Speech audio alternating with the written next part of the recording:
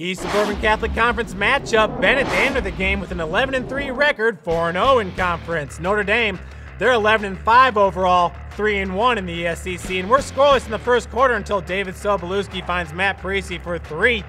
Moments later, Sobolewski in transition hits Parisi, who stops and pops. That caps a 7 0 Benet run. Notre Dame in the second quarter trying to get back in this game. Quinton Chievous the bucket and one. Moments later, his teammate Sean Wallace he had a game high 21 points and he knocks that one down. Entering the third quarter, Benet, they're still up, but Quinton Chievous again with the bucket. He had 16 points and he pulls the Dons within two, 30 to 28. But Sobolewski once again finds Parisi for three. When Sobolewski wants to take over, it seems like he just takes over. He had 16 points in this game. Benet, they go on to win it 54 to 41. They're tied atop the SEC standings with St. Joe.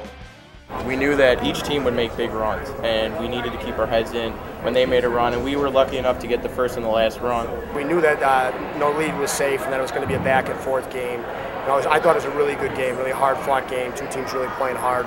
Uh, but we were able to have a nice little run there at the end of the third, beginning of the fourth, which, uh, which you know, really I thought made a difference. Our kids played with a lot of poise, so I was very pleased with how they played down the stretch of the game.